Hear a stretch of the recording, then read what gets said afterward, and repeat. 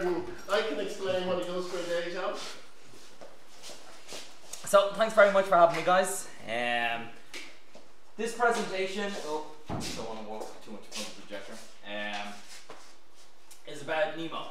And NEEMO is NASA's high fidelity training analog for the astronauts. And NEEMO stands for NASA's Extreme Environment Mission Operations. Um, one of their best as far as I was concerned, except they didn't come up with it. Um, so NEEMO was actually taken from Captain Nemo, 20,000 Leagues Under the Sea, uh, from Jules Verne. And this entire concept was to design and develop a training environment for astronauts that wasn't just a bubble or a habitat or a tent out in the middle of the desert or up in the Arctic Circle. One of the things that we found over the years is that these type of environments, oftentimes the astronauts would go, they'd work for the day, and they'd go to a hotel, they'd go to the tent, or you'd open the front door, get out, and it almost destroyed the fidelity or the quality of the simulation. Years ago, the guy that came up with this concept was the chief trainer for the Space Shuttle Simulator. So he had put several missions, probably up to about halfway through the Space Shuttle program, if not more, all of these through through the Space Shuttle Simulator. And he ran every case of worst case scenario that you could think of, trying to train these crews. And one of the things that he found is no matter how bad it got in the simulator, at the end of the day, the astronauts went home. And he just felt that the level of fidelity and the level of training that these crews underwent, there was something missing. So he went and found Aquarius. Aquarius is the world's only underwater research laboratory. It's based down off the Florida Keys, about five miles off the coast, on the bottom of the Atlantic Ocean, about 20 meters down, owned by Florida International University. At the moment, it's the world's only underwater research laboratory. There are or have been other smaller habitats, but at the moment, this is the world's only fully functioning laboratory. And the entire concept was that taking astronauts, putting them down into this habitat for one to two weeks at a time meant that at the end of the day, they were still in mission. There was nothing simulated about this. This was a real world mission that had a high up tempo that was designed to push the crews and deliver the best training environment possible before they went into space. So he went and contacted the chief medical officer for NASA um, at the time and tried to bring him down and eventually kind of after a lot of persistence agreed to come down and his basic attitude was we train astronauts we send them into space in the name of God are we bringing them down and putting them underwater but anyways eventually he agreed to go down and he went with Bill and went to visit the Aquarius habitat he went down. And the only way to get down to the habitat is you bring them both out from the shore and you dive down and scuba. And then you can go get into the wet porch. It's actually through a Moon Pool. And you take off the scuba gear, climb up the steps, and then into a dry environment. He was down there about, about five, ten minutes and he was visibly irritated. And eventually after about five to ten minutes said, okay, I've got it, let's go. So they went, put their gear back on, dove back out, back onto the boat, and he turned around to Bill. He says, I get it. He says, I absolutely get it. He says, I couldn't stand being down there. I hated it. Hated every second that we down there. And he absolutely changed his mind. He says, from now on, any astronaut that we have any kind of question mark over, he says, we're going to stick them in here before they go anywhere near space. And the entire idea was to put them in a steel tin can, a modified mini space station, on the seafloor, look at psychosocial elements, put them through a high up tempo mission, let them adapt to training, let them do experiments, let them do modified spacewalks, all of the components that would go into a mission and see how they respond. So at the moment what we do is we use this environment and this habitat as a training mechanism for the astronauts and we do it in two ways. Generally the two groups of astronauts that end up here is either newly minted astronauts that have had issues something didn't go optimally during the training environment. So the astronauts go through a two-year training process as astronaut candidates, so they may not have been great in the water. They may not have been able to adapt quickly enough. So this gives them the opportunity to go into a real-world mission scenario and raise that lower bar of training up a couple of notches before they actually go into space. The second group of astronauts are generally those that are experienced.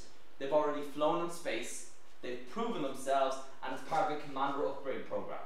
So some of the astronauts are those getting ready. It's giving them leadership experience, leading a team in a mission environment before they actually go into space. And at the moment, that'll be to command the International Space Station. I was lucky enough this last summer. Um, I've worked on this mission for the last six or seven years as both a physician, as the diving medical officer, as a rescue diver, and as a scientist. And this last summer, I got the opportunity to actually go down as an astronaut as part of the NEEMO 21 crew. This was an incredible adventure that I got the chance to actually go, live, work, and see alongside the astronauts and actually be a part of that mission in a way that I hadn't previously, which was pretty phenomenal. So what I'm going to do is just talk you through some aspects of the mission and what this mission means, why it's important, some of the experiments that we did, some of the nuances, just some of the stories, and uh, then kind of give you a chance to just ask questions about what we did and what's in store kind of for the rest of the program.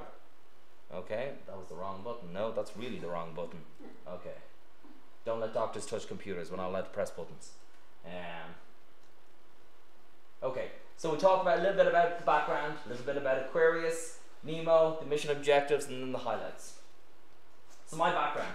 Um, I trained in medicine at UCD, um, but at heart, I'm a space cadet. All I've ever wanted to do is go into space, and behind closed doors, I'll admit it, I wanted to be an astronaut. I wanted to walk on the moon. Um, I ended up in medicine, and after a couple of years, realized that if I really wanted to do this, if I really was going to pursue this seriously, I had to actually go and change the track that I was on. So, in about 2003, the European Space Agency put out a call to all the medical schools in Europe looking for a fresh injection of ideas in four specific areas, not that they were having issues with, but wanted fresh blood as part of the mix. So I submitted an abstract that was based on using ECG, the electrical activity of the heart, um, that blip line that you see in the hospital, um, as a surrogate marker for sleep disruption and instability. So we weren't looking to go and replace what all the equipment that you would see in a sleep lab. So you've seen a sleep lab. You see kind of the sleep left with the wires coming out everywhere. You have the tube, and a whole load of equipment that's just very cumbersome. It's also expensive, and it's even more expensive to get it from here into orbit. An ECG is a readily accessible physiological parameter that is easily attained and can be used for so many other things in medicine that it just made sense that we may not be able to get all of the data like the stages of sleep, but we're not looking for stages. We're looking for quality and disruption of sleep. So I wrote an abstract, it got selected, and I was flown with 30 other students from all over Europe to the European Astronaut Centre for a week. There we got to meet some of the European astronauts, some of the staff from the European Astronaut Centre. They're the head of life sciences over from NASA, and then the counterparts from Russia.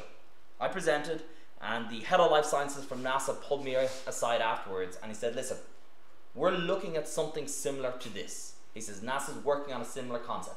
I like what you're doing. Go flesh out this idea, expand on it, go and make a presentation, write a white paper, go and present this at a couple of scientific conferences, and let's see where it goes from here. So I followed the man's advice. Over the next couple of years, I did exactly that, and then I ended up putting the experiment into this mass European Space Agency database. So every time one of the European astronauts flies, um, there's a database of experiments that they're able to go in, select experiments from, and actually identify the experiments that they want that astronaut to fly in a particular mission. I was lucky enough that the experiment that I was doing, they needed a student experiment at the time. They liked the angle that I'd taken, they liked the background and the components, and through a series of kind of steps, it went and got selected through shortlisting and so on. So the experiment goes and gets selected. At the time, I have a PowerPoint presentation, I have a white paper. Head of the program rings me said, Congratulations, I already had a letter in hand saying you've been selected, experiment's to fly in ISS. And I was like, Fantastic, outstanding. And he says, Now, I'm to ask you a serious question. He says, Can you really do this? So I took a minute, I paused, and being Irish, I turned around and said, Absolutely, no question, we'll get this done. In the back of my mind, I'm thinking, okay, so we're to fly an experiment in space in 18 months. That's generally a five year process. So they know I'm a student and we're go- working on an accelerated timeline. Of course, the European Space Agency is going to go and give me all of the resources that I would need to go and make this experiment happen. So I turned around to my university, and then at this, this stage, I transferred over to engineering in UL, gone to the university and said, Well, we kind of need a letter. We can't really take your word for it that you're actually going to be flying an experiment in space. So I went back to the European Space Agency and said, listen, I need a letter just establishing bona fides for what we're doing here. And they were like, no problem. I was like, on letterhead, fancy letterhead, as flowery as you can make it. I was like, no problem. Came back with the letter.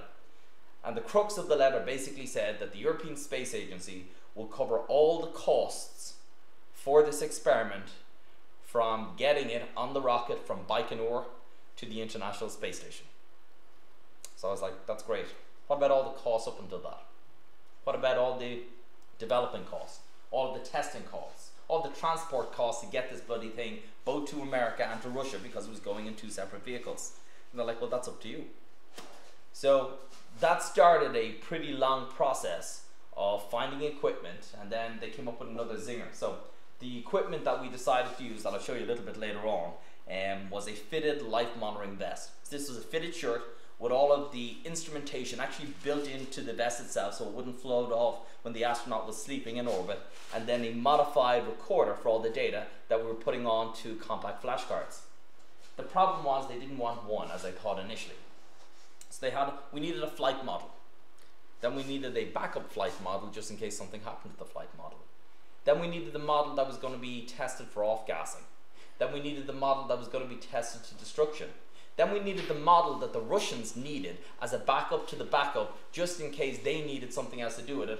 And then we needed another model for EM testing.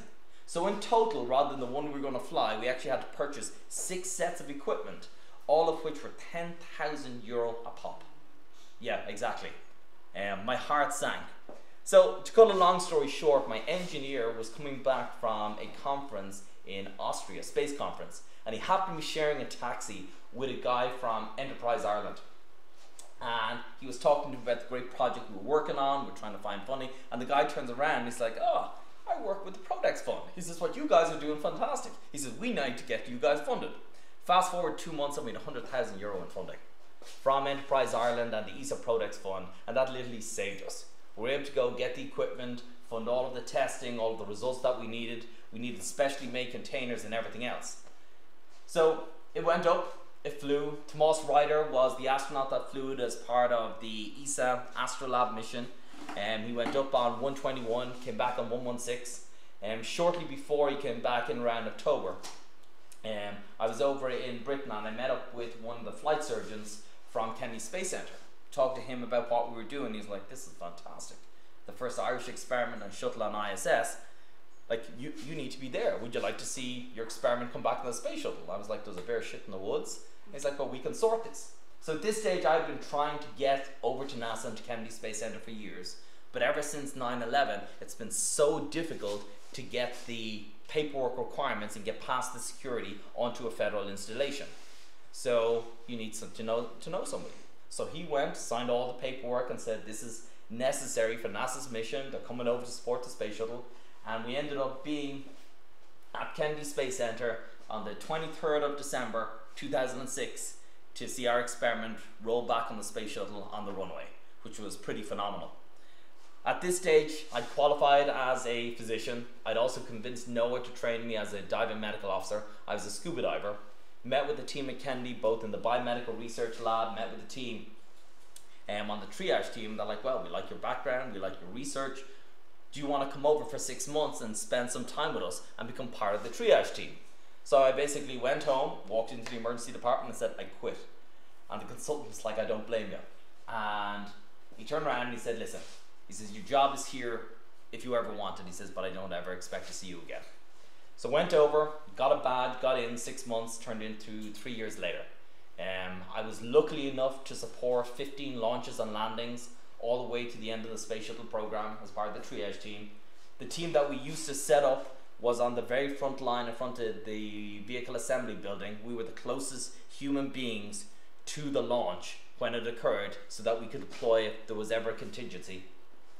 Um, we had a Department of Defense medical team and a civilian medical team uh, very close by. They had Blackhawks with blades turning all the time, so a really impressive footprint for fire rescue and medical just in case anything happened. Um, I was lucky enough that I became an expert in spinal injuries in the ACES that's what you can see up here. This is taken during a Mode 4 drill. We used to run two significant emergency medical drills every year, a Mode 4 and a Mode 8. The worst case scenario for a launch and the worst case scenario for a landing. So the Mode 4 was effectively if something happened, if something exploded on the launch pad and you had astronauts on the pad with limbs hanging off, severe injuries, there was life and limb at risk. And the whole concept was they would deploy the emergency medical apparatus, they'd turn on the sprinklers on the pad, we'd send in a fire rescue team in these um, super cool garments with actually liquid oxygen in the tanks because of the risk of burning rocket fuel. We simulated go down in the emergency baskets from the pad to the bunkers, get carried off, let the emergency medical teams do their thing here. And I suppose a little bit strategically, um, I planned that I was the astronaut that had the very worst injuries. That if there was a decision to be made on a certain astronaut that had to be evacuated immediately, um, it was going to be me. And it just so happened that that evacuation had to take place in a US Air Force Black Hawk helicopter to fly across Florida. Um, so to say that was a good day would be an understatement. Um, so I was lucky enough to spend a significant amount of time in that ACES suit. The ACES suits were modified pressure suits from the U-2 spy plane that they went and upgraded over the years specifically for space shuttle. So you had a cooling garment underneath that then locked into this kind of cooling bag that you carried around, a sealed suit that was all locked in together, and then the suit itself actually connected into the space shuttle to connect all of the medical instrumentation that you had on board at the same time. Very cool. Um, they actually used to go and fly these suits in from the astronaut quarters in Johnson Space Center specifically for this. So when you got suited up, you had to be in astronaut crew quarters in Kennedy Space Center, which is a sealed, locked floor of a building, and sat in the chairs that they would use specifically when they suited up to go out to the pad for a launch. So that was really cool. You got a little bit of behind the scenes of what they got to do, and this was absolutely incredible. This is some of my favorite memories of the stuff that I got to do. Um, I was also lucky enough to get into Discovery um, and sit in the commander's chair on the stack. So you have the shuttle, you have the external fuel tank, and then two solid rocket boosters on either side. Basically, solids are there, tank is about to be fueled, shuttle is vertical, and got to sit in the commander's chair just shortly before it went into orbit. So that was a pretty good day. I suppose another little bit of background, I qualified from UL with a doctorate in biomedical engineering, so trying to mix medicine with the technology component. My day job centers around the design and development of next generation medical equipment. Uh, we design fluid monitors that predict the fluid changes that could occur not only for spaceflight, but looking at changes for heart failure patients, dialysis patients. And uh, we've developed the first generation of a small kind of tricorder like device, so about a credit card size monitor that is non-contact, non-invasive, that works on the basis of directing a single tone radio frequency into the chest. And based on a phenomena called RFII, radio frequency impedance interrogation, it has a resonant frequency coupling effect with a moving dipole molecule. So what we actually do is detect the return loss from a signal as it couples with moving dipole molecules which in the body turns out to be hemoglobin, as blood is being pumped from the left ventricle, that big chamber in the heart, into the ascending aorta, that big large vessel. What happens then is that every time the heart pumps, like so, we get a blip from the change in return loss. That provides us with a cardiosynchronous waveform. We're then able to establish beat to beat intervals, which gives us heart rate. From that, you get the undulation of the waveform from impedance that as you breathe, the actual baseline of the signal begins to change. Then from that, the amplitude of the waveform actually provides us with a surrogate marker for how much blood is being pumped with an individual beat. Now this is important because it is application when you can't use electrodes, when you can't use gel, in situations like spaceflight, pre-hospital care, in ambulances, any kind of extreme environment that you can think of, these types of devices have application, not only for missions like this, but for mass casualties in hurricanes, where you have mass numbers of people and you only have one medic for every 10 people, how does that medic go and drop multiple medical devices? So we went and designed a system that would then allow the device to actually go and autonomously triage those patients based on universal standards of green, yellow, red. So he could go and actually treat the patient most acutely ill that had life-threatening injuries. the small devices that you see there are small fluid monitors. What we actually did in this case is we modified those devices to actually be able to provide a predictive index for patients suffering from Ebola. So those patients that have been exposed to the virus but were not yet contagious. The way Ebola works is the virus goes and attacks the outer lining of the cells and what happens is it dumps the water inside the cells outside the cells. So we had a frequency shift in the way that we monitor fluid, and we were actually able to graphically represent how that change occurred, and we were able to provide about a six-hour window from a patient that went before they went from basically quarantine but stable to a contagious state and actually give the doctors a window of opportunity to actually put them into full quarantine, get fluids on board, antibiotics and so on. My night and weekend job, um, I teach and train combat medicine. I take Navy SEALs, Green Berets, Ranger teams, and we deal in worst case scenarios. So these teams that deal in hostage rescue, counterterrorism, I get them for 24, 48 hours after they've gone through the workup, and we'll deal in a situation going into a hostage rescue. Then they get attacked. Team leader gets taken out. Then we take out the medic. And then they have to deal with these catastrophic injuries for 24, 48 hours before rescue team or before they can evacuate and learn how they manage these injuries in a field environment with what they have on their backs and still complete the mission. It puts a lot of stress on these teams, but the whole idea is to raise the lower bar of their training mechanism. On the space front, um, I'm the doctor for the Vomit Comet. So we get a plane, a modified 727, and fly it in a pattern in the air called parabolic flight. Once before we hit this curve, just the top of the curve, we take the engines and we reverse them. So rather than flying the plane up the top of the curve, the plane actually falls over the top of the curve carried by its momentum. So the plane is falling, everything in the plane is falling at the exact same rate, and then we get 20 seconds of weightlessness. Um, people wonder kind of about the plane, the injuries, and so on. We've had everything from burst eardrums that I'll talk about in a second, but one of the biggest things is nausea.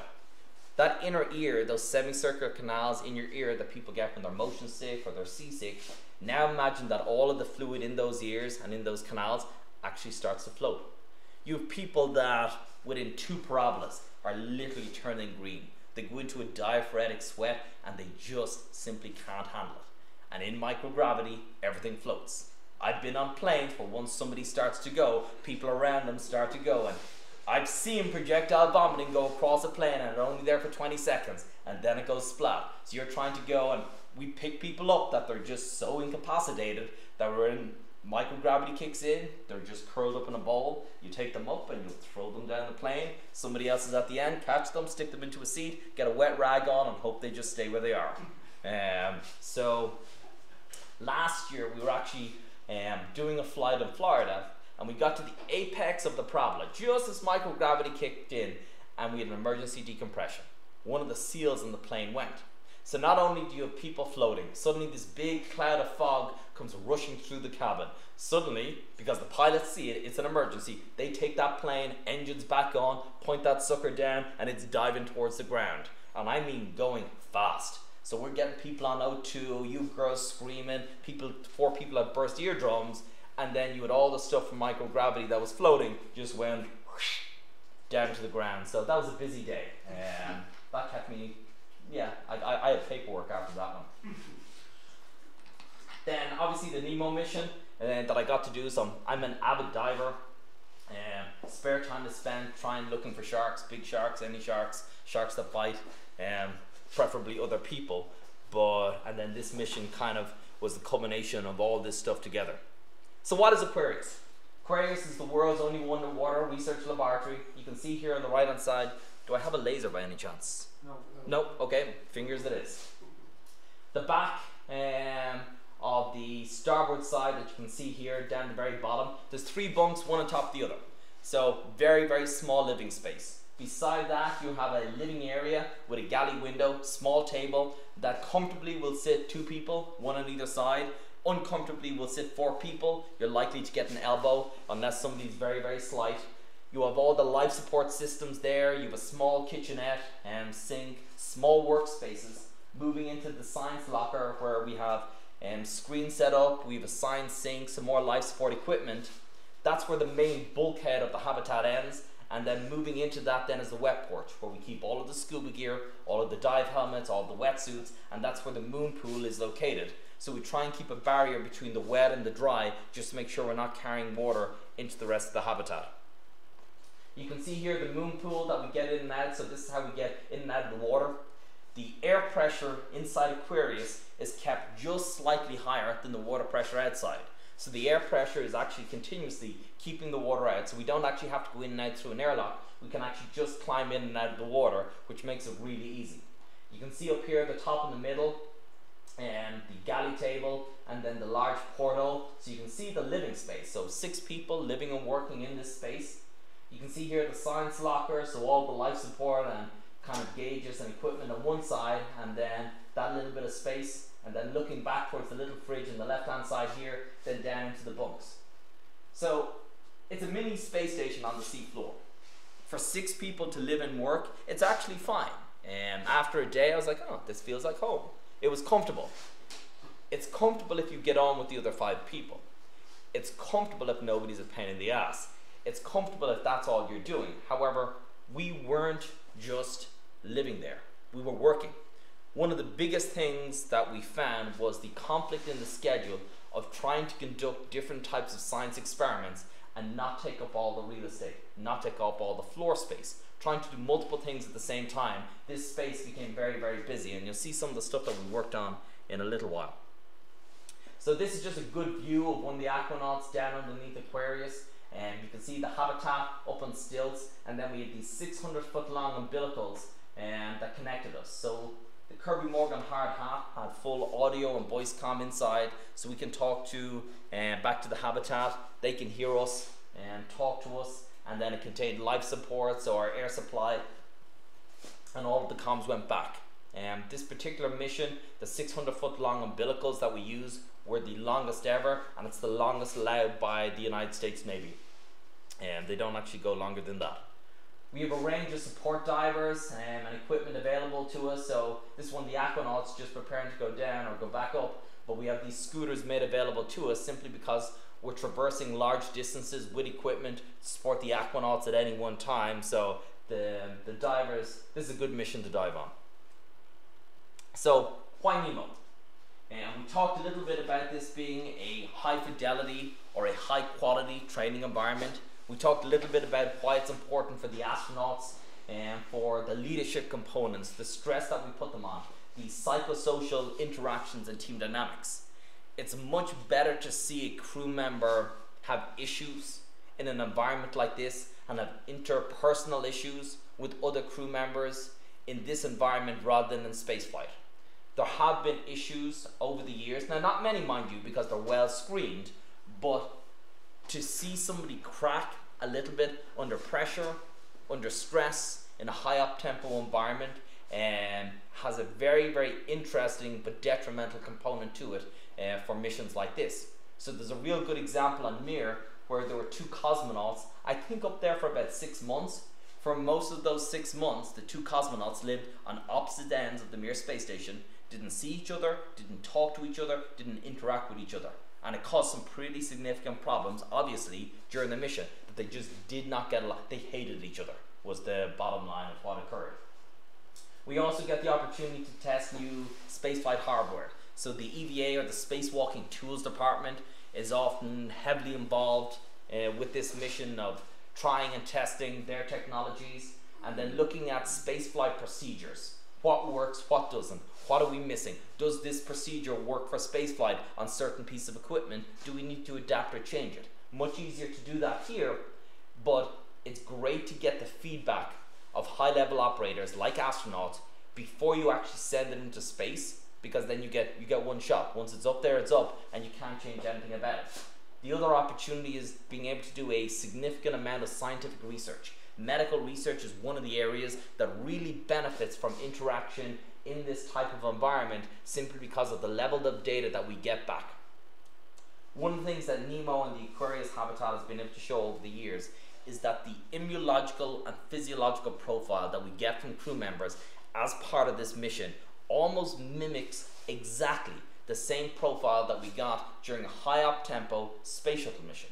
So, immunology, levels of hormones, um, cortisol. All of these different components that we look at in what's called biomarkers are mimicked on board NEEMO very, very closely to what we found on spaceflight. That's one of the ways that we know that the stressors in the environment that we're exposing these crew members to are replicated so closely by this mission as it was on spaceflight and why it's so valuable. So analogs come in two flavors, environmental and mission. The environmental conditions are a little bit different with NEEMO with the other habitats. So we have habitats up in the desert in Utah. We've habitats up on Devon Island in the Arctic, and then we've mission the HI-SEAS that just finished out in Hawaii. The one thing all of those missions have in common really is that if you have a bad day, if you're pissed off, if you're angry, or if there's an emergency, you can walk out the front door. NEEMO's different. When we go down after about 24 hours, you are officially certified as an aquanaut. You are living under pressure at depth on the seafloor. It also means that your body is now completely saturated with nitrogen. It's called saturation diving. One of the biggest problems and risks with scuba divers is decompression sickness, or what we call the bends. Divers go down underwater for a significant period of time. When they come back up, they do a safety stop. If they stay down for too long, they actually go into decompression diving where they have to do scheduled stops. Take this to a whole new level. After 24 hours, all of the body's tissues at that depth are now completely saturated with nitrogen. The bones, the muscles, the soft tissue, the fat, everything else. If we were to go after those 24 hours from the seafloor back up to the surface, all of that nitrogen would expand in all of those tissues all at the one time and could cause a catastrophic incident of the bends or decompression sickness that could potentially be fatal. We could get bubbles that would travel to the brain, just in the joints, cause excruciating pain. So after those first 24 hours, what effectively happens is we must go through a 15 hour decompression or recompression to come from the seafloor back up to the surface. So what happens? At the end of the mission, we actually go and seal the bulkhead doors of the habitat and then we go and take it and we actually raise the pressure over 15 hours from the depth of the seafloor back up to the surface. The habitat doesn't move, it stays on the seafloor, but we actually raise the pressure. At the end of the 15 hours, we'll dive the habitat back down to its normal pressure open the door, and then you've about a 15 minute window for those that are leaving to go get on your scuba gear and actually dive out back up to the surface. Um, so that gives you kind of an idea. The 15 hours is important because it's almost the exact same timeline that it takes that if you had an emergency contingency on board the International Space Station to get from hatch to ground. It's almost the exact same timeline, and that's why kind of this is so appealing. We also have the ability to go and do spacewalks or EVA on the seafloor. So every second day, two aquanauts are on the seafloor. We spend about seven or seven and a half hours traversing on the seafloor doing different types of experiments. Um, the lab and the layout of the habitat are similar to a node or a module for the International Space Station. We also have a highly structured timeline with the same constraints that you would see in a spaceflight mission. So during this mission, we actually bring in four or five different NASA centers. We've had teams in from Canada, from Japan, from not Russia yet, but the Europeans as well, with a big footprint. And this is treated like effectively a mini space mission with all of the constraints and all of the support necessary to make it happen. NEEMO has both. So why NEEMO? We talked a little bit about the training environment of getting astronauts ready for spaceflight. We talked a little bit about the testing of new technologies, procedures, and so on. So at the moment, you heard in the last talk, we have one of the greatest constructions that mankind has ever put together. The greatest orbiting laboratory um, going above us right now, doing phenomenal research. That research station will probably be there until about 2028, but that's not the end goal. Nobody ever said, I want to build a space station and stop. The end goal for most people, most space agencies that you would ever talk to is to get to Mars. Now, one of the biggest problems is NASA has been talking about getting to Mars in the next 20 years for the last 60 years. So we can probably keep pushing that timeline out. But at the moment, the date for going to Mars, for putting humans on Mars, is being talked about in around 2030. And um, now, one of the biggest problems is political will, funding, kind of the political landscape. Um, if you've one president that wanted to go, the next guy probably isn't want to go to go because it's just he wants to change things. So the diagram that you have up on the top right hand corner is NASA's current vision of a journey to Mars. One of the big internal NASA jokes at the moment is the diagram goes all the way to Mars, the funding only goes halfway to Mars. So, what are you going to do? But we also have the private space industry, the commercial industry. Um, Elon Musk has this grand vision of getting people on Mars sometime in the mid 2020s using current technology. Um, I'd be hard pressed for to find anybody that's really going to bet against Elon Musk. He's a modern day Tony Stark and really seems to accomplish so much when he puts his mind to it. And um, we also have the advent of new vehicles. At the moment, we're reliant on the Russians, the Soyuz, to get our astronauts from ground up to space, which is kind of a hard pill to swallow. Soon, we're going to have two commercial companies. We'll have Boeing and SpaceX that are going to be providing their own capsules that will be made available, and then we're also developing the Orion capsule. You have Red Dragon, the Red Dragon concept from SpaceX that they're hoping to send a mission to Mars. But we also have the commercial space industry. So I think we're really at a tipping point for space over the next couple of years that I think we're going to see a paradigm shift. We have the likes of Virgin Branson and Virgin Galactic. They're going to be taking tourists up to the very edge of space, just past that 100 mile marker, and um, to be able to get up out of their seats, see the curvature of the Earth, get out of their seats, float around. The only problem with that is what most people don't realize is it's going to be for two and a half minutes. You're going to pay a quarter of a million dollars for two and a half minutes of a nice view and floating around. So I would say stick me on the plane any day. Now you heard in the last talk, this one kind of took my thunder, but like we have some phenomenal photos that have been taken of Ireland from the International Space Station. So you can see Ireland from Space Station, but you can also see Space Station from Ireland. And so you have the orbital ground tracking software. So what you can see up here is the different tracks of ISS, some of the satellites, um, and the Soyuz when it docks, and then the different ground tracking stations. So you can see the massive footprint that the ground tracking stations in, in Russia and that they have. One of the only reasons that we can actually see um, the ISS in Ireland is because the Russians are involved. Had it just been the Americans like it was originally planned, the track would have been much more conservative just to spend as much time as possible flying over the United States. So we actually have the Russians to thank for that. Um, and when you actually watch it, it's literally it takes about probably somewhere between five and seven minutes, depending. But it's literally the brightest star in the sky that doesn't fade and just moves across the sky. It's actually on a clear night. It's a pretty spectacular sight to be able to see. So there's a variety of different software you can use. And um, Daniel talked about one. ISS Live is another good one. And um, to get an Android and iPhone where you can actually show the track and the video in a split screen at any one time with one of the external cameras. So NASA has done a significant amount of work over the years in preparation for either going back to the moon, which we think that the current the next administration might actually pursue because there seems to be a great international inclination to go back to the moon. So all the work that was done with the Apollo missions. We have three rovers on Mars at the moment, Spirit, Curiosity, Opportunity, doing different types of work different types of um, exploration, looking for a little green man, looking for water, whatever else. We've had 21 NEEMO missions that have built up an extraordinary level um, of experience in this type of environment. Different types of research and technology studies, and then other analog programs. So there's Basalt, there's RISE, there's HI-SEAS, there's HERA, there's all kinds of funky acronyms and names, but the bottom line is there's a wealth of experience that has been built up in these types of operations.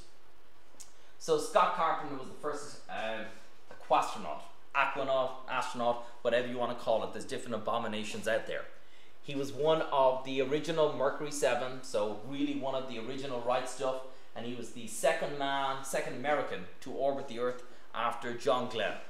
Um, while he was still an astronaut, he was still active US Navy, he went and started diving and then pulled out the astronaut corps and then ended up living in Sealab 2 for about 30 days.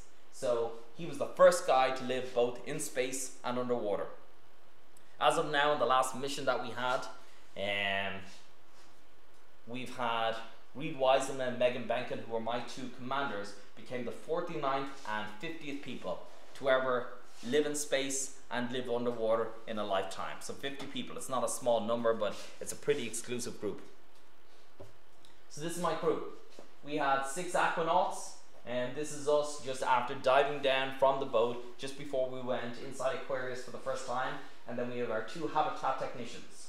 So at any one time, there's four aquanauts inside the habitat, two habitat technicians that are there to look after the habitat, keep an eye on us, make sure we stay out of trouble, don't break anything, and don't sink or flood the bloody thing all at the one time.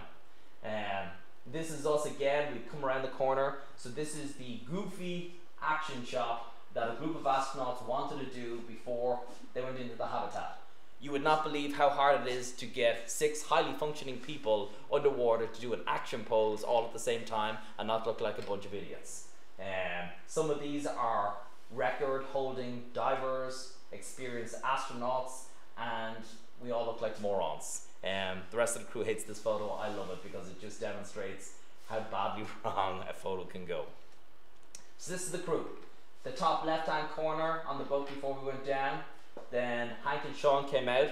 So these two guys were interesting. Um, Sean was a young commercial diver that had screened as a Navy SEAL um, years previously. Hank is the US Navy's highest ranking master diver. He is the most experienced and most senior diver in the US Navy when he retired shortly before this and went to work on Aquarius. The crew up here, this is the very first day of the mission, everybody came down. This was kind of cool. The very first day of the mission, we actually got the opportunity to do a live link up with the International Space Station.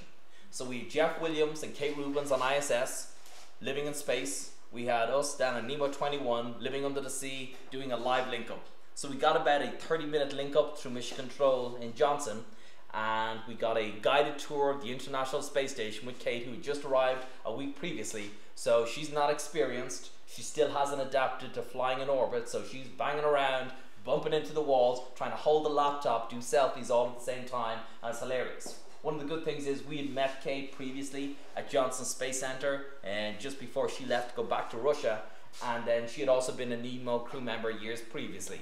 Um, so she knew what we were doing, knew the excitement level and everything else, which was pretty cool. The bottom right hand corner here, you have Megan Behnken on the left, Reid Wiseman on the right. Megan Behnken was an oceanographer who actually went and defended her PhD while she was an astronaut. She got a lucky set of coincidences that actually allowed her to qualify as an astronaut while she was still a student, which is very unusual. Um, but she was one of the astronauts on board STS 125. She was actually the astronaut that was the robotic arm specialist that retrieved the Hubble Space Telescope, uh, which was a pretty extraordinary mission in its own right. Then Reid Wiseman was part of Expedition 4041, who um, was on space station for six months, um, about a year and a half, two years ago. The guy in the middle is Chris Cassidy. Um, he's a former Navy SEAL. He flew in the space shuttle and he flew on the International Space Station. I hate this guy. This guy is the epitome of a modern day, effectively James Bond is what his crew members called him. When he got a call to be an astronaut, he was leading teams in the mountains of Tora Bora chasing the Taliban.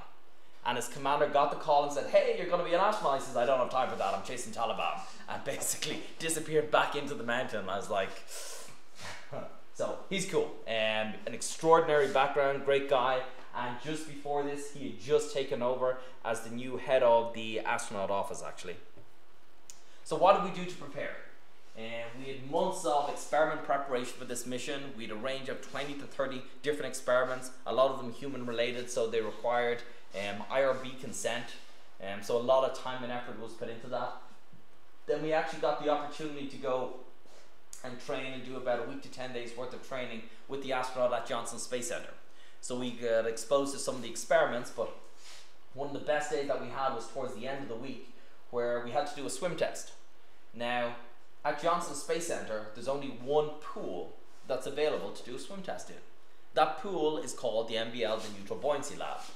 The Neutral Buoyancy Lab is one of the world's largest swimming pools. It's about four stories deep and it has a full-scale mock-up of the International Space Station actually sunken down into the water. So we ended up doing a swim test, getting ready for NEEMO while swimming over and back 500 meters across this gigantic mock-up of the International Space Station in water that was literally crystal clear. It is the slowest swim test in history, I can guarantee. Nobody touched the wall like literally within seconds of the allowable time because we didn't want to get out of the water. And this is a photo taken with Paolo Nespoli, um, who's the European astronaut. So we actually have a launch going on tonight. So tomorrow's Pesquet. Um, Pesquet? Anyway, it's French, tomorrow. And Peggy Whitson, the US astronaut, are actually, actually just, just launched. And they're going to launch at 8.20 tonight. And then Paolo is actually the back, the back for that crew. And he'll actually launch in about, I think, three months time, give or take. After that, after that, we'll get them going down for the feast things later. And then they do another week-long long session, session of experiments and all, and all the different ones of getting ready, ready, trying to um, just get up, just get up to speed with all the science. So the right hand side, I love, love, love mission patches. This is me, 21, 21, 21 around once. So my commander is a little, is a little gambler, gambler. He likes to down, a little bit of money, and so on. So 21 being blackjack. We needed, we needed a show, fancy, cool logo, that, that kind of NASA we wanted, and then we wanted the cool logo that we wanted. So we got the diving helmet, we got the queen and the ace from blackjack, and then we needed something to be able to give to personnel that had supported the mission that were there with us as a token of our appreciation. So we said, well, why not make poker chips? Rather than doing a mission coin or any of the usual stuff. So the commander loved it.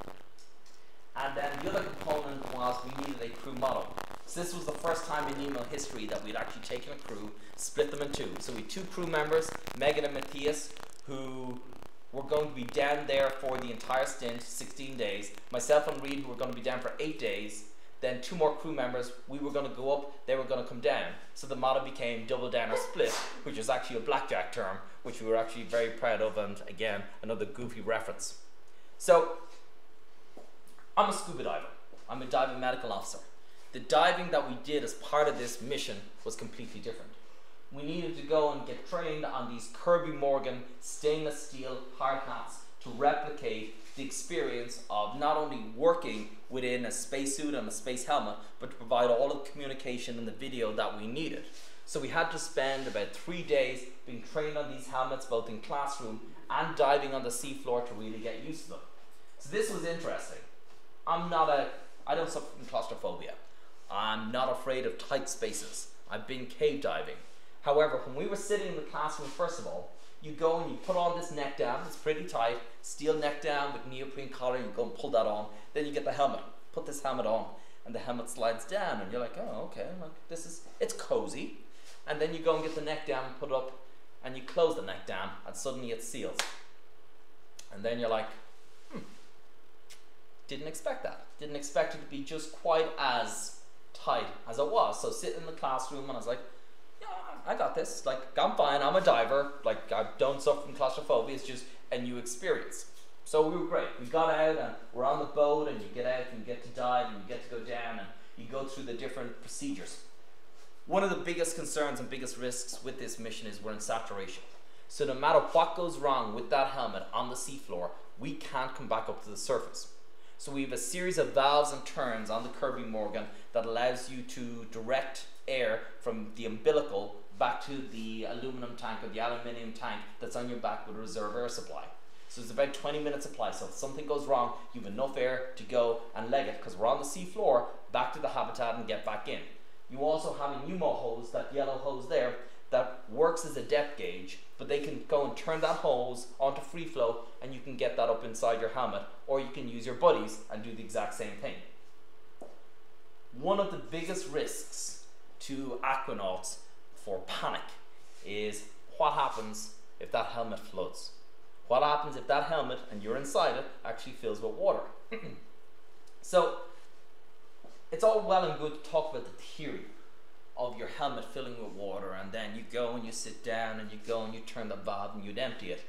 But when the risk of actually shooting to the surface could potentially be fatal, they need to be able to make sure with an instructor present for the first time that you can actually do it. So how do they do that? They go and they get you to go down your knees. Then they get you to go and lie back. And you tilt your head back and you get that neck dam and you open it. And what happens underwater when you open up a dam? The entire thing floods with water.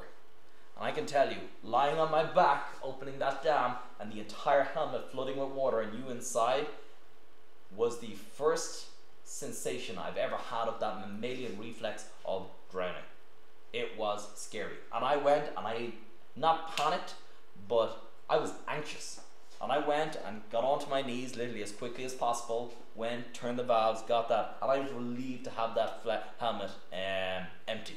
And it was very significant. It was one of the only times that I've really had a level of anxiety during training, and I didn't want to repeat it. I thought I'd be fine, but I was like, yeah, once is enough in that one. Um, and it was a lesson learned. Some of the other training that we did on the sea floor was learning how to use some of the navigation equipment that we have. We get a lot of stuff from the US Navy. This um, device actually allowed us to traverse different waypoints that I show you in a little bit on the sea floor out from the habitat to different points in the coral reef, mimicking how you would go and actually lay out some of these waypoints during a mission. Um, I talked a little bit about topside support. We had four different NASA centers bringing in an entire footprint that supported mission control.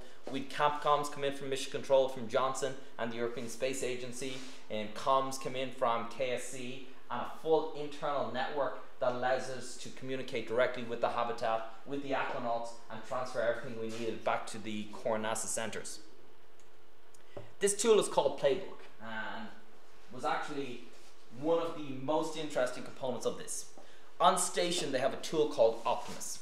Optimus takes an individual astronaut's timeline and breaks it down over the course of days and weeks, and basically gets filled up all the tasks he has to do. Optimus goes and calculates um, inconsistencies in the timeline for activities that need to occur simultaneously with the rest of the space station. So there's certain things that need to happen before a docking. There's certain things that can't happen during a docking. There's certain things that they'll need to do before, during, and after a spacewalk. Optimus goes and calculates all of those. This mission uses Playbook because we have multiple crew members that need to work in tandem. We're not sitting down in the water looking at the fish all day long. Your individual day is literally scheduled from morning till night in five minute increments. And then you have this thin red line that's moving consistently all the way throughout the day. If that thin red line moves over an activity and you haven't completed it, the activity turns red. And you would not believe the level of stress to see that little red line move along your day and multiple red boxes appearing because you haven't completed it.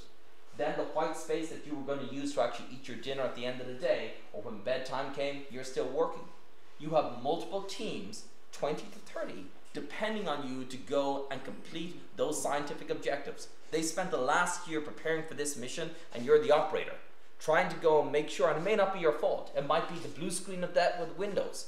The software may not work. Somebody may not have actually gone through the bloody procedure correctly, topside. A good example would be when I show you the um, coral tree farm or the coral nursery that we built the group topside were using PVC to build it. They hadn't actually gone and drilled the holes and gotten the little bits of PVC out before we took it down underwater. So we actually had to go manually each time and drill out the hole of PVC underwater, which just added a phenomenal amount of time to the task that we needed to do and literally screwed our entire timeline. We have an excellent platform of support divers that support us and tend to us underwater to make sure that we're safe. 10 the umbilicals that we're carrying behind us to make sure that they stay above the coral reef and then bring down the tools so they'll set up our tools and everything that we need for a day's diving from the boats in the morning, bring it back up at night time, retool it that night and then rehash the next day. So a really good group. So I'm going to talk a little bit about some of the internal objectives, some of the science that we did on the inside. As I said, we had about 20, 30 different experiments and then some of the stuff on the outside. So this is our EVA console. Um, EVA spacewalking. When you do a spacewalk outside the space station, there's always an astronaut sitting in mission control on comms with the astronaut, talking them through the procedure. Okay, step 241. Now 242. Put your hand here. Okay, this tool. Okay, beware of this. Providing constant feedback for all of the training and mechanisms that they did. One of the big things that we did on this mission is we operated for the latter half of the mission under a time delay. If we go to Mars, we are not going to have real-time comms. So we simulated 15 minutes for comms to get from the habitat back to Earth. This was a simulated mission to Mars, and then 15 minutes back, so a 30 minute comm delay. So you had all of these screens ranging from the messaging tool back to mission control, the real-time location analysis of the aquanauts, the two video feeds, different types of data. Then in the bottom right-hand corner, you had data presenting life support. So one of the biggest things for a spacewalk is not the work capacity of the astronaut. It's actually your life support. How much O2 do you have left? How much CO2 have you built up? Can you last longer with the limited supplies that you have? They went and actually spent time designing software to put up false um, readings to make sure that you're always scanning this area at any one time. So you can imagine that for seven and a half hours, you're sitting here monitoring all of these screens, taking the science notes, communicating with science, communicating with the mini mission control, relaying that all back to the aquanauts and making sure all the procedures and all the goals are being met for that day. This was my drinking from a fire hose moment. The astronauts that sit in mission control and that have flown are already familiar with this setup. They know what they're doing, they know how they're doing it. Here you see Reid sitting with the HoloLens goggles that we brought down with us, providing additional procedures, feedback, and just-in-time training for some of the components that he was doing. So you have aquanauts on the seafloor that have flown in space before, very experienced. You have a 40, 50 person mission control back on the shore, Capcoms that oftentimes sit with the astronauts, engineers that know exactly what they're doing, and you. You're the one guy that talks to everybody, and for seven and a half hours, you get a flood of information that you're trying to make sure that you're not the one guy that screws up. Because if you miss a beat here, everything starts to deteriorate afterwards. The timeline slips and the objectives get missed. When I got up from this the first time, I was absolutely mentally exhausted. The same day that I did that, um, Megan Behnken, who was my crew member uh, for diving in EVA, she came over one day because she's doing a completely separate experiment. She's a seven hours worth of DNA processing to do. She comes over, taps me on the shoulder, says, "How you doing, Mark?" She didn't even wait to see to get the answer. She just walked away. So I was literally left to my own devices, and this was grueling, but one of the best learning experiences I'd ever had. We then tried it with two people, actually later on in the week, to see could one person handle all the workload and just how much benefit was it to have two crew members doing this work at the same time. DNA sequencing. This was the first time that DNA had ever been sequenced underwater. Every crew member did it. It was about a seven hour process. You had 40 pages worth of procedures. You had 30 different reagents, some frozen, some at room temperature. And this was a very finicky, delicate procedure. One of the reasons that this was important is that we were actually fine tuning the procedure that Kate Rubins was actually going to use on the International Space Station about six weeks later. So I was the first guy to do this, so I was very conscious of getting this right. So I'm three hours into the procedure. I'd gone and gotten the mini PCR, the polymerase chain reaction machine, ready to go and take the samples. I prepped everything, I've been very diligent. And this little mini PCR machine that's at my left hand, you go and take that, you plug it into the computer, you put the reagents in, and you start the software. Did all of that, software started, computers going, I'm like, great. Mission control, mini PCR machine working away, I can see the screen. About an hour later, I get a message and it says, Mark, did you turn on the mini PCR machine? I was like, well, funny enough, I don't actually remember turning on the machine. And I went over and on the back, there's a little black button that says on and off, and lo and behold, the button's off. So, shit, damn it.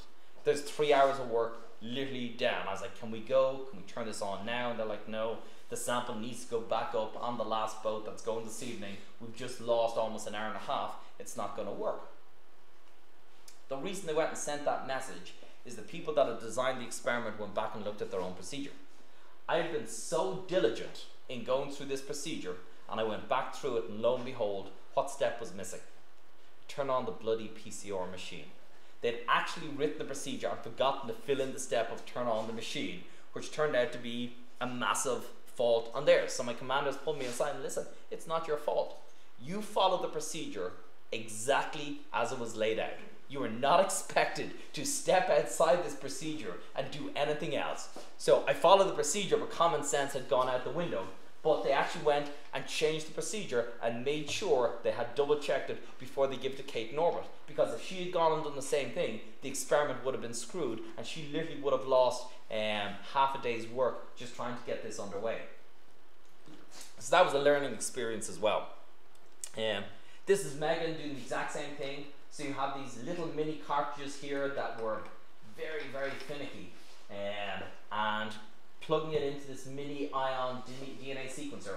But the cartridge that you can see there was so prone that any tiny little drop of air that was introduced to that when you were pipetting liquid was going to screw up the entire analysis. Um, so it was just so prone, and we were wondering. We actually asked them to go and simplify the entire setup for Kate because we just felt it was too complicated for her trying to float around and actually do the fine movements that were going to be necessary. One of the biggest issues with spaceflight is the problems that we encounter due to microgravity. Muscle atrophy, bone density loss are some serious issues. So the astronauts on the International Space Station at any one time must exercise for two and a half hours every single day. But on ISS, they have these massive racks for basically lifting weights. They have a treadmill that they can run on. We are not going to be able to provide that level of equipment and just don't have the space in a little tiny capsule that's going to be going basically to moon or possibly onto Mars. So what do we do? We need to be able to modify that. So this is Med2, a miniature exercise device. Um, so you can see the size of it here. It's not very big, but it's bloody heavy. It has software and has a series of servo motors inside that can basically change it from an aerobic to a resistive machine. So at the flick of a switch, you can basically go to a rowing machine to a machine that will provide resistance where we can do deadlifts, we could do squats, and so on.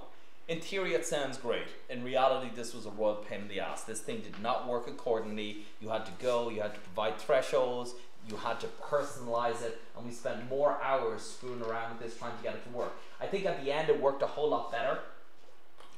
But the whole concept that I talked about, the thin red line, and moving and not getting stuff completed, this was one of those experiments that caused the entire timeline uh, to shift in the wrong direction. One of the other things that we did is tested an EVA swab tool. So one of the biggest things is what happens when we send a vehicle beyond low Earth orbit and it gets exposed to something on the outside. How do we go and sample it? How do we go and find out what it is? How do we go and take those samples, retrieve them correctly? So we went and tested just a brand new um, swabbing tool. We didn't do it on the outside, we did it on the inside, took a series of swabs, just locked it back up and then sent it back to Johnson Space Center to let them actually sequence and test the swabs and see what level and see what they actually found and see did it actually work. HoloLens. This was one of the more interesting applicable things that we actually got to do and also one of the most entertaining. So the HoloLens is Microsoft's brand new 3D holographic um, goggle concept. You go and put on the HoloLens, turn around, and it will go and map in 3D the entire room before you. You can go and throw up the window screens right in front of you and actually go and take them. So you can go and take your word processing screen and put it over here. You can go and take your control panel screen and put it over here. If you turn, if you've attached it to either wall virtually, it'll actually stay there in real time. Space Station is huge. It's been up there now for almost 20 years with different crews, all bringing up different materials. We've had different stowage, we've had the progress, we've had shuttle, everything. It is packed full of stuff that nobody knows where it is. We have nodes, we have modules that are like three, four canisters deep. One of the biggest things is trying to find anything is just a huge time waster. So one of the things that we're trying to do with HoloLens is figure out a mechanism of barcoding everything that we can and then linking that into the HoloLens so you can fly through space station looking for something in particular. It will tell you where it is, where it's been, where it's supposed to go, and any other details and directions that you need to actually go and find it. It's great in concept. We went and tried practicing this concept, getting it ready for space station, and putting away these blue Nomex boxes in different areas in the habitat. The problem was that when you get to a window, it actually reflects the 3D holographic screen that you're trying to work on when you have two people wearing a HoloLens at the same time, it'll actually go and mix up the two screens as you're trying to work amongst each other. So this actually became very, very frustrating for the crew. So Reid Wiseman is a bit of a wild card, and he's a joker, and he doesn't like doing things that he thinks are a waste of time.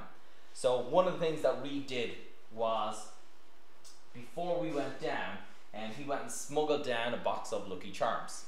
Um, according to him, the token leprechaun on the mission must have a box of Lucky Charms, and they were sitting on my bunk by the time we actually went down. So it became a running joke, actually doing this experiment, that we have several photos of this experiment being done. We have four good photos, actually, in fact. there are 40 different photos of using the HoloLens to stow the Lucky Charms in every single area of the habitat you can imagine. Because they did it as a laugh, because it wasn't working. NASA became extremely irritated because you can't go and put pictures of astronauts stowing Lucky Charms on a mission all over the internet. It just doesn't work. And so I actually got heat for that, even though it wasn't my fault. I hadn't brought them down or anything else. Last year, we actually used the same goggles for just-in-time training for doing advanced medical procedures, for using an ultrasound and some other medical equipment. So we're still looking at the adaptability of this type of technology. Mobile PV was another technology set that we were using for just-in-time training. So you can see here that you had the wrist-mounted display, you had the larger tablet and the smaller tablet, all providing you with the ability of these detailed procedures and then you the ability to go and call somebody in mission control through the little camera. You can see them, they can see you, and you would actually go through the procedure with that just-in-time component and also health help. So the first version of this technology is currently being used on station. It sounds great in concept, um, but all of these three devices were supposed to link at any one time. You were supposed to be able to call up a video on one, do the procedure on another, flick backwards and forwards between the two, jump up to somewhere else and tell it what to do. And for anybody that uses a smartphone, which is everybody, it just doesn't work like that. Um, so this became a royal pain. Now they are working on it. It is being done on station, um, so we'll see where that goes. This was Casper. This is the experiment that we flew on station a number of years ago, the sleep experiment. Um, so you can see the fitted vest and um, with a small data recorder in the pocket. Went up on STS 121, back in 116, the Astrolab crest, and then the Casper mission badge. You can see here that this is a breakdown of a night's sleep, and the entire component was astronauts suffer um, sleep disruption, the excitement of launch, high stress levels, the high op tempo, 16 sunrises and 16 sunsets every day, microgravity. The rising sun is a Zeitgeber. It is the number one entraining factor to make sure that everybody can live and work in a 24 hour day. That means that the rising sun resets our body clocks to a 24 hour rhythm. That's why people living in mines, people living in the Arctic Circle, after a while begin to develop issues. First time astronauts do seem to have significant issues with their sleep patterns, so we give them artificial melatonin. Every astronaut tries out a variety of different combinations of sleeping tablets to see what works best for them to make sure that they're not zonked and if they have to get up during the night, respond to an emergency and um, that the medication hasn't basically dulled their edge. This spectrogram gives the ability to actually map the quality of a night's sleep and actually detect any interruption in that quality throughout the night or look at any kind of intervention that we might employ. The biggest causes of sleep disruption that we saw during shuttle were changes in noise, vibration, and temperature. This spectrogram gives us the ability to actually go and align this with a mission log or with the environmental log and see if a crew member had a bad night's sleep, did it actually go and relate to a change in environmental conditions. We've also gone and adapted this technology into a wearable small sleep monitor that can be used in domestic medicine for patients with sleep apnea that don't want to go into a sleep lab that can actually be used at home. One of the other significant areas that we do a lot of work in is telemedicine, trying to detect changes in crew members and monitor their health status from the shoreline by a physician or a flight surgeon and, then taking this technology, not only applying it to spaceflight, but looking at application of this technology for increasing access to care for conventional medicine, looking at people living in remote areas, trying to find ways to keep patients at home, monitor them at home, stop them going into emergency departments and not ending up in hospitals unnecessarily. So this is one of the key areas and one of the areas that I work in on a daily basis. We did a lot of work in what I call telomere degradation and epigenetics. So this was pretty interesting. Um, and it follows on from some of the work that we did um, with the group that did similar research on the International Space Station. When you have cells in the body, cells divide. Um, and built into the chromosomes in the cells, the cap on the end of the chromosome is called a telomere. Every time the cell divides, that cap gets a little bit smaller, up until it becomes basically a nub end on the end of the chromosome. When that cap gets down to a nub end, rather than dividing, the cell goes into what's called apoptosis. The cell effectively dies. This leads to cellular aging. This is the aging process. Now, this has implications for not only aging, but a lot of other diseases, um, Parkinson's, Alzheimer's, Duchenne's muscular dystrophy in children. One of the other big components of this is if we send crew out beyond low Earth orbit on a three-year mission to Mars, nine months there, nine months to get back, they will be exposed to potentially extremely high levels of cosmic radiation. It is hypothesized that the damage that could occur on a genetic level and to telomeres as well could lead to extremely severe sequelae later on when those astronauts come back, if they ever came back. That's not a risk that we're willing to take with these crew members. We want to get them as healthy as possible before they go, when they're away, and when they come back all at the same time. So what we went and did was monitored the telomere length before, during, and after this particular mission, and then we've also pioneered a concept of introducing a Trojan horse molecule into human DNA that will actually go and regrow the telomere length. We're looking at this for application to spaceflight and also looking at application for the likes of Duchenne's muscular dystrophy. Epigenetics looks at the change in the expression of gene and the genetic code due to exposure to an environment rather than actually changing the code itself. So we did a lot of work in these areas. The Jedi mind trick one was when you mention genetics to NASA in relation to astronauts, they lose their minds. So it actually took us months and months and months of just trying to convince the IRB at Johnson Space Center that we're not actually altering astronaut DNA, we're not taking their DNA, we're not splicing it or anything else. We're just looking at the changes, but you think for a smart organization, um, they'd have a little bit more common sense. PSAP, working in conjunction with John Hopkins, we looked at changes in the inner ear and vestibular function. And then a mission, two missions ago, we did a significant amount of work with the Raven um, robotic surgical unit, where we actually took a team in Duke University, implemented a three second delay, and they did different surgical techniques underwater, basically mimicking the requirements of what would be necessary to do robotic surgery on a mission in space if the need ever arose. So we talked a little bit about saturation diving, the risks involved in this type of habitat. We talked a little bit about the 15 hour kind of recompression necessary. So this is the bunk area. You can see the sick astronauts in their bunks and then for 15 hours we went on and off an O2 protocol to bring us back up to the surface and bleed all of that nitrogen out of the tissues. But what are the other risks? You have the risk of trauma. So if you get a tiny nick or a cut um, down in this humid, hot kind of environment, there's bugs everywhere the ability for those bugs to get in, the risk of infection is actually very severe. Trauma. If somebody breaks a leg or breaks a limb down there, or even anything, even something more mundane than that, it's very hard to treat, and then obviously you can't bring them back up to the surface. Uh, the psychological component. Putting six alpha hard charging personalities down into a little tin can on the seafloor on high up tempo mission is bound to cause some kind of friction we were lucky in that I had a great crew. There wasn't one bad day, one bad moment amongst any of this. Marine life, during the mission, we'd five bull sharks that appeared after about, I think, three days. At night time, they'd literally be right in front of your face in the window, basically chewing on fish. One of them was about 12 feet long. One of the days during the mission, when I was actually up and I was a rescue diver, we actually had one of the large bull sharks actually go and buzz one of the aquanauts underwater, and we actually had to pull them in off the sea floor because we thought he was getting a little bit friendly, and just in case he wanted to just have a taste. So we talk a little bit about the exterior objectives. So we talked a little bit about getting in and out through the moon pool. So you can see here, um, I'm getting out. You jump down from platform to platform.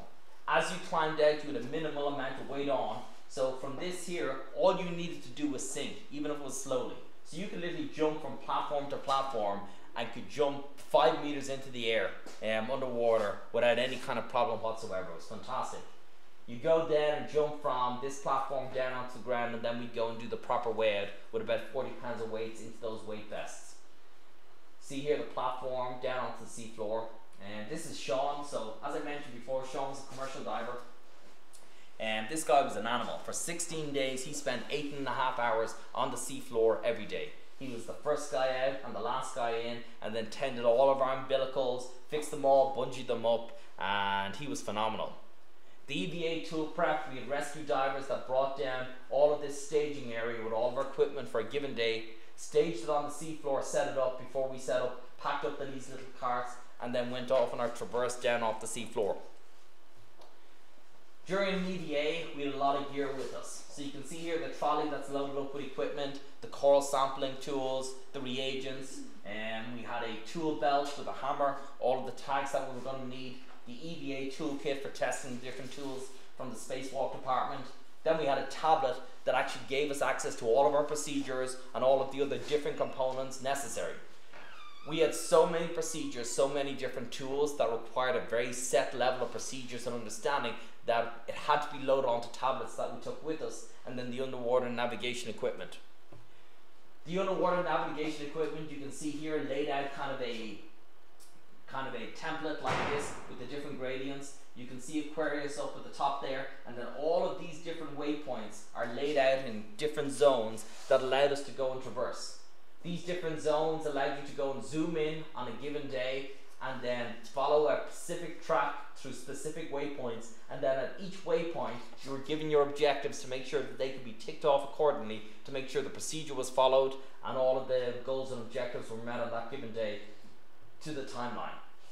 Um, we had the ability to go and map these out, change things accordingly and actually go and things were quite fluid but we also had a set of goals and objectives that had to be met on that given day before we came back in. Um, the underwater navigation system that we were using used a combination of Doppler, um, infrared and sonar and then we had a buoy here that actually connected us back in real time to the habitat which was pretty spectacular. It's hard to get um, communication or wireless communication like that underwater.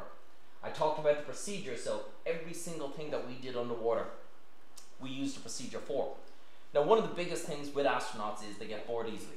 So you can't go and send an astronaut into a habitat like this and then send them out on a mission and say, turn over that fake rock. Tell me what that piece of rock looks like and report back. It just doesn't sustain them and it doesn't provide any value. One of the biggest things that we've done in the last couple of years is using coral as an analog for exogeology. So coral is the oxygen mask of the world's oceans. It provides the lifeblood of the oceans. However, one of the issues is over the last 10, 20 years, we've had climate change. The world's oceans are getting warmer.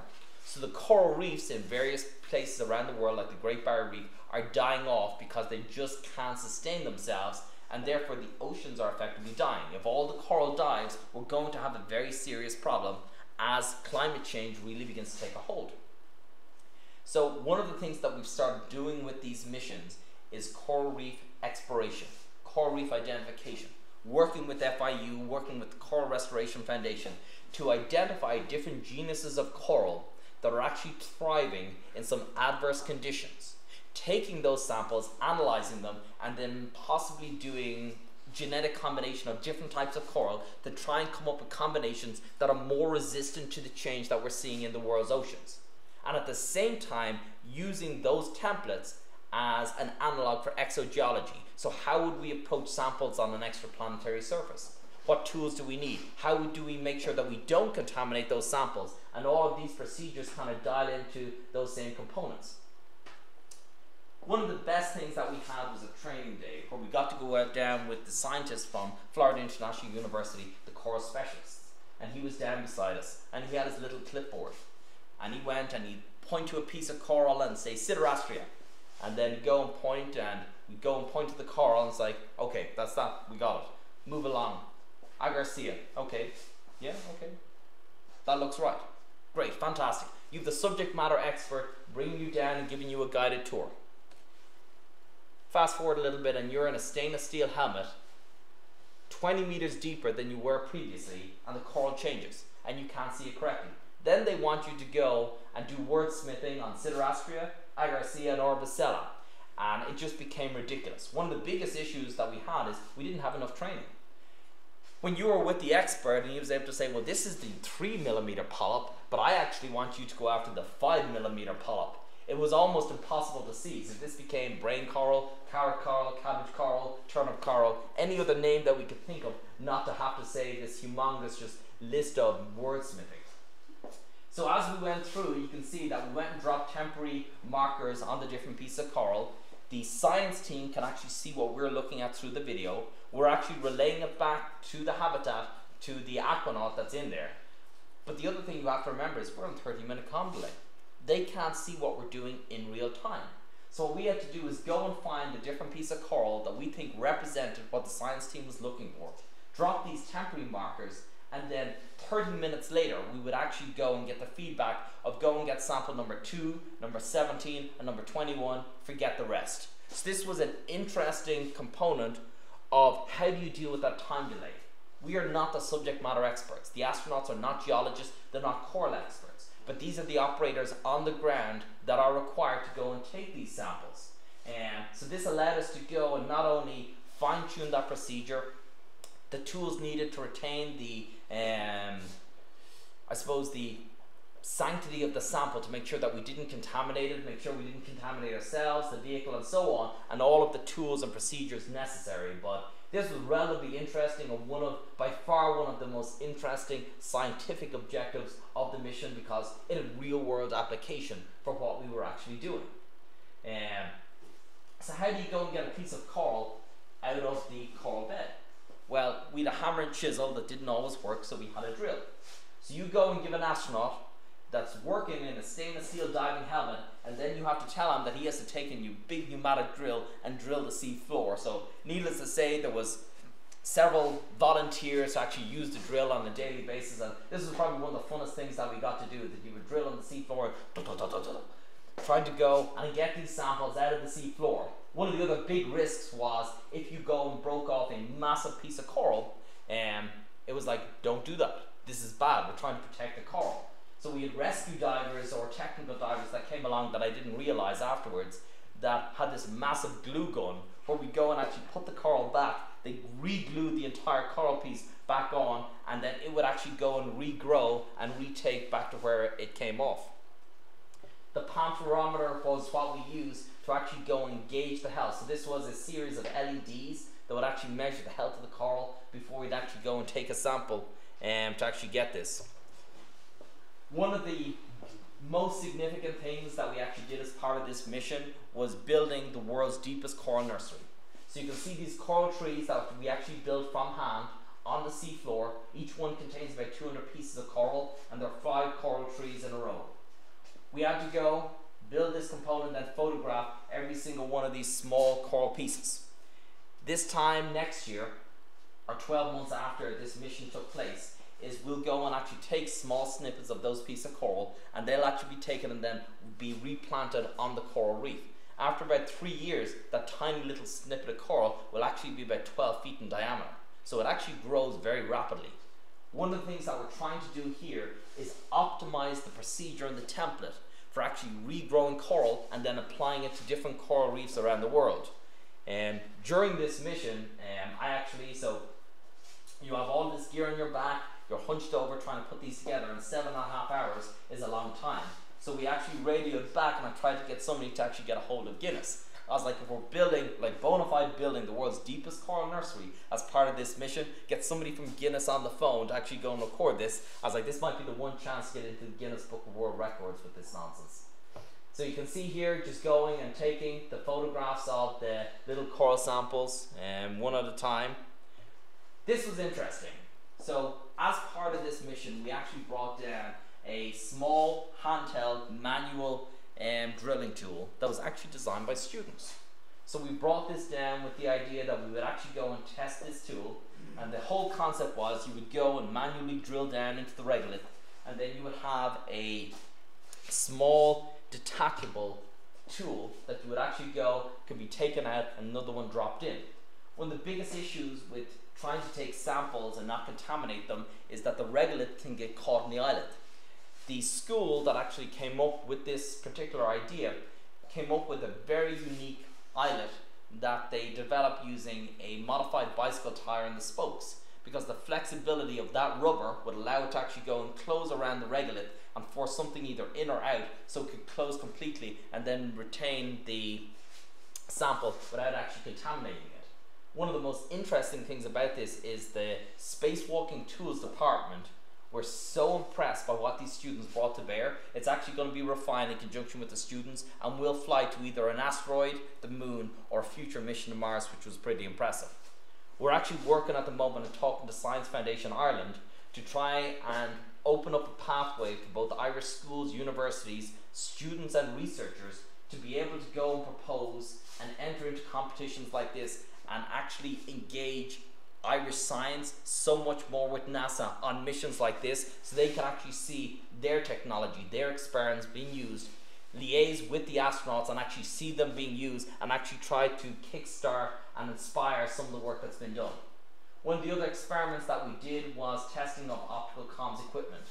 Testing small LED lights of different colors, different intensities at different distances to see what is the optimal way of actually transferring data underwater wirelessly without contact, which was pretty interesting. So you can just see the setup here that we had on the wet porch that was outside the Aquarius at the time. One of the aquanauts on board was the Naval Postgraduate School expert in ROV, remotely operated vehicle, and then AUV, autonomously underwater vehicles um, on Aquarius. So he'd been working with us for the last couple of years, and then during the mission, he went and guided these small autonomous rovers um, underwater and inspected some of the equipment, followed the aquanauts, provided additional viewpoints, retrieved some of the samples, brought them back to Aquarius, and so on. So this was pretty interesting from that point of view. A couple of missions ago, rather than a journey to Mars, we were working on an asteroid retrieval mission. So we actually brought in these mini one-man submersibles, which were designed to go and mimic one-man spacecraft. So what we do is we go the mini spacecraft or submersible would hover just above the seafloor, barely touching down, and then you had aquanauts that were on the end of a boom, effectively, trying to retrieve samples and testing how that would work, what we would need, because unlike a moon or a large body, these asteroids effectively are always slowly turning in space, and to provide the ability to go and land these spacecraft without actually doing damage all at the one time was a significant objective and then you can see the support divers here tending the umbilicals and so on. So this was kind of cool just to see this in action. Down beside Aquarius we have a full-scale mock-up of a lander that would either go to moon or possibly onto Mars at a future date. But what happens if we can't actually put astronauts on the floor of another planetary surface? For whatever reason it might be well then using a boom was one of the options that had been proposed. So this was a lot of testing was done with lowering and um, upping this boom, actually working on the restraints, looking at how we would actually go and retrieve samples and just do a basic tool setup and traverse from one side to the other. The other thing that we have is we have an underwater climbing wall actually built on the seafloor at a 45 degree angle. So once again looking at the application of boom technology, the restraints, what's comfortable, what kind of tools will we need? How do we make sure we don't contaminate the sample, retrieve it successfully, and then go and put all of these components together in an operational environment that's just not theoretical and figure out all of those kinks. And this is our change of command ceremony. So Reid Wiseman transferring the Kirby Morgan and to Megan. So this is the night before Reed and I um, effectively came up. So this was just a, a great photo, a phenomenal crew um, that we had together. And um, you can see here in the bunks, but facing all the way down into the galley area, and the bulkhead that was actually sealed. So you can see actually the title in the book that we're actually reading. And um, these were contraband that were smuggled down. And um, it's 20,000 leagues under the sea. This actually turned out to be, in 21 missions, the most popular photo in the history of the program. Um, so this went viral actually, and we took a little bit of heat for this, but it managed to raise the profile of everything that we are doing, and um, we took these home with us, which was pretty cool. One of the best things that we actually got to do was a night dive.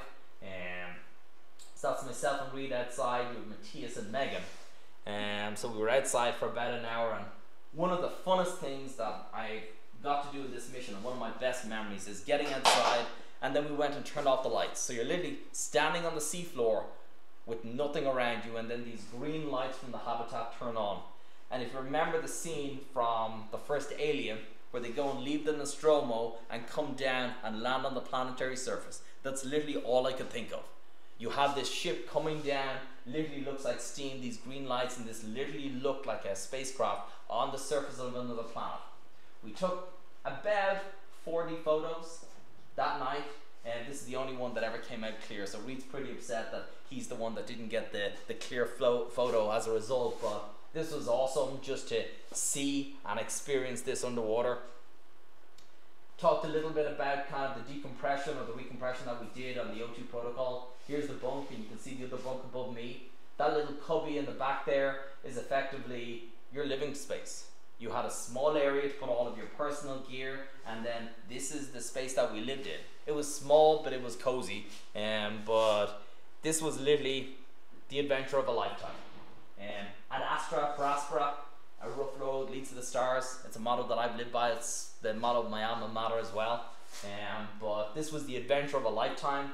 I got an extraordinary opportunity to do something pretty phenomenal. My crew members, um, Reid and Megan, would both say that this was the second best operational experience of their lives, surpassed by only going into space. And if that's all that this turns out to be, well, then this was a pretty phenomenal adventure that I got to be a part of. Thank you very much.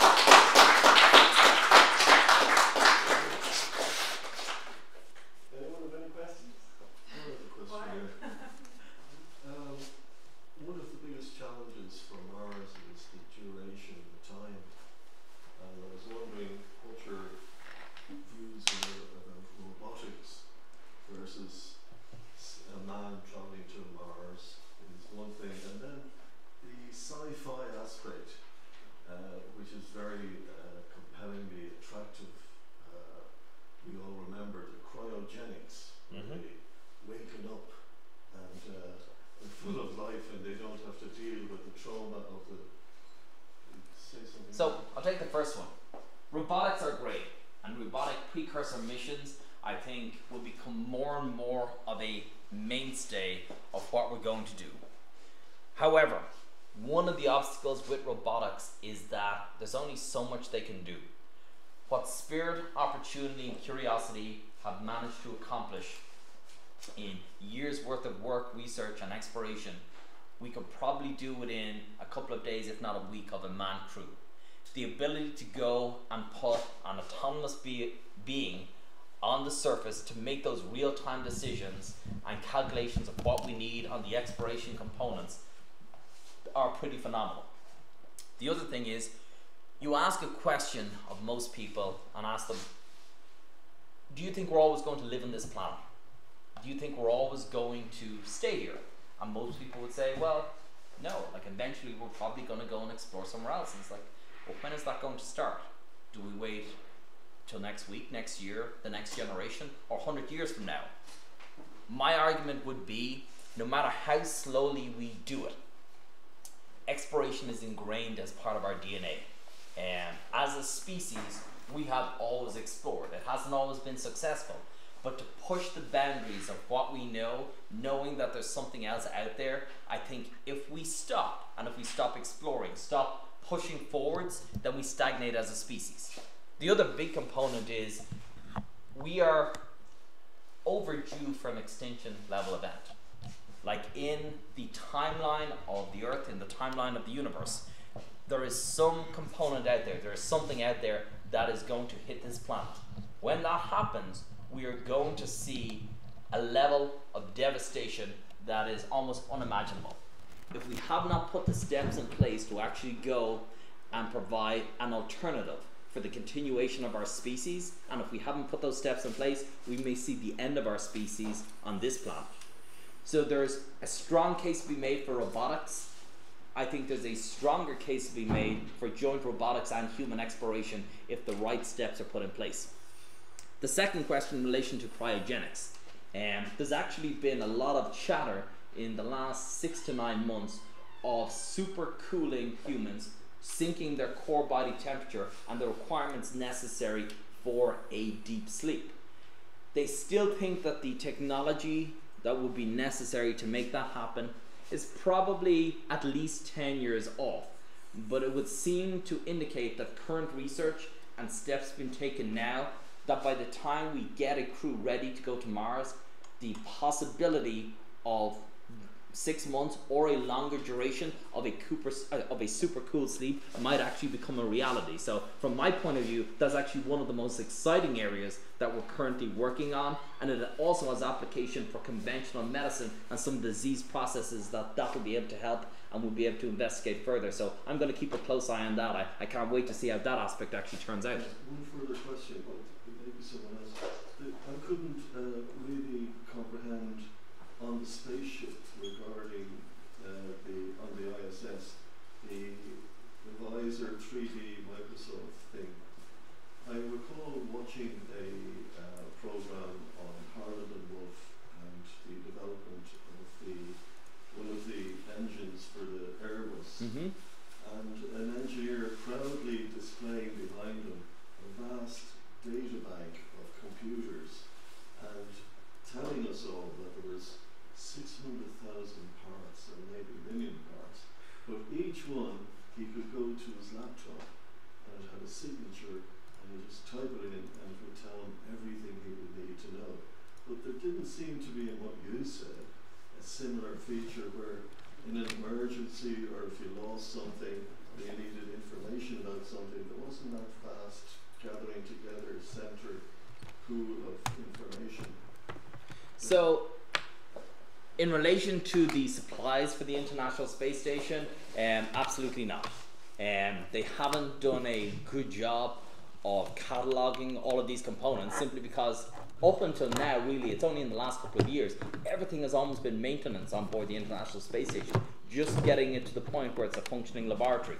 And the individual components and systems are very well understood and very well maintained.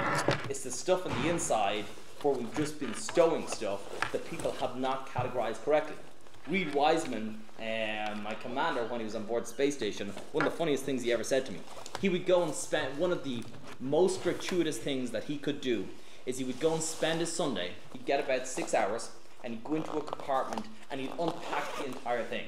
And he'd go and categorize all the four layers of these hundreds of items, categorize them, then put them back, and then go and send the list down to mission control. And he actually felt like he had actually accomplished something. In relation to storage, that would be one aspect that they're trying to get on top of. The HoloLens is still very much almost a prototype technology. Microsoft's pushing it hard, but last year's NEEMO mission was the first time that had been used in any kind of working capacity. Um, Scott Kelly actually flew it on board ISS um, at the end of his mission just as a trial run. I think they're trying to compile that type of database for a variety of different functions and actually go and provide that ability using the HoloLens, but it's definitely not there yet. It's literally a crawl, walk, run approach of trying to actually go and manage those systems because you've got to remember you have components of American engineering, Russian engineering. They're well understood, but I don't think they have that level of what Airbus would have had with the individual parts.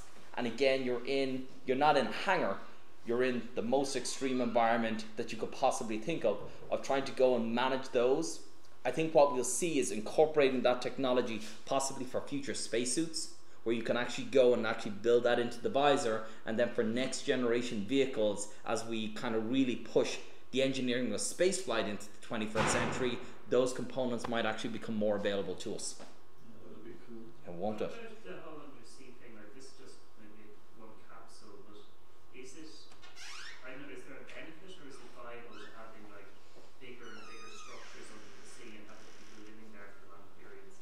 So there's a positive argument depending on what your objectives are. So what we use here is for training, adaptability, getting ready for spaceflight. I would love to see bigger habitats. One of the big issues that we have at the moment for Aquarius is maintenance. Um, NOAA used to own it. They sold it for a minimal amount of money to Florida International University because it was actually taken out of the budget. They were actually going to go and scupper Aquarius on the seafloor, flood it, and just leave it to the fishes. So, would it be cool? Absolutely. The problem is who's going to pay for it.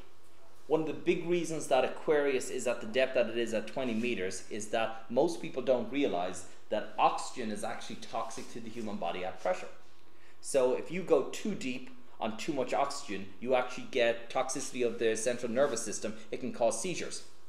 A little bit shallower but a longer period of time, you can get pulmonary toxicity where you develop a dry, racking cough within the lungs that can then eventually begin to cause bloody, frothy sputum and actually get fluid in the lungs. The depth to actually cause that pulmonary toxicity of increased oxygen in the system is actually about 55 feet. That's one of the reasons that the living depth of Aquarius is actually 45 feet. So we can actually live at that 45 feet level indefinitely without the toxic effects of oxygen built in. So Aquarius is actually staged on the sea floor in a sandy kind of basin surrounded by coral, but on a very, very stable platform at a specific depth to make sure that all of the toxic and dangerous effects that we would see from living under pressure and underwater won't be experienced. To have a long term or much larger habitat, it would either need to be maintained at the same pressure as the surface or built in a similar type of environment to make sure that kind of human beings don't suffer similar type of toxic effects over a much longer period of time.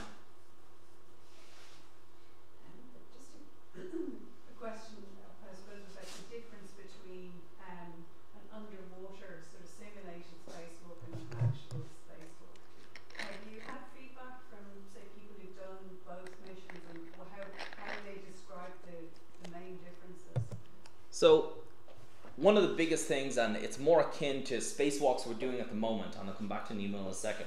In the neutral buoyancy lab, you saw Paolo Nespoli um, being trained in the big white suit underwater. So they keep that as close to simulation and training quality for actual spacewalks as they can for outside the International Space Station. And they go and they'll train. So for every hour that they do on a spacewalk, outside. They spend somewhere between six to ten hours, depending on the mission, in the pool at the NBL. And the whole idea is that they'll go in the same way. They go out the airlock the same way. Hands go in the same way. Um, the astronauts would say that the level of training that that provides in specific tasks is very much akin to what they do because they have the same tools with the same bag and so on. So oh yeah, protocol procedure. One of the biggest things that um, they would say, however, and one of the big differences when you're underwater in the pool, the astronauts will go and they're toggled with two different tethers onto the outside of the space station. They go and they'll push off, and then the tether gets them, and they're over this handhold and they're getting their tools. And Reid said the second time that he was in the pool, the trainer that was with him afterwards told him, You won't do that in space. And he's like, Listen, I'm tethered in, I'll be looking around, I'll be looking at the view. And Reid said going out of the airlock, um, the very first time that he did a spacewalk, you crawl outside and there's nothing but down. And he says, You're hanging on the outside of this ship that's going 26,000 kilometers per hour, looking down at the earth. And he says, You're dead right. You go and you hang on for dear life because the last thing you're going to do is push off and risk any kind of maneuver. He says, It's just the feeling of height is overwhelming once you're hanging around on the outside. And he said, once you go and open that airlock, he says, just that sense of depth and height. Because the airlock goes and you're facing down and it flips open. And he said, that was the most significant aspect. He says, it's amazing. The view is incredible, especially what Kate Williams did on this last expand spacewalk. She actually, she actually installed the commercial docking module on the very, very, front of the space station. So the space, station is huge with these massive arms and all the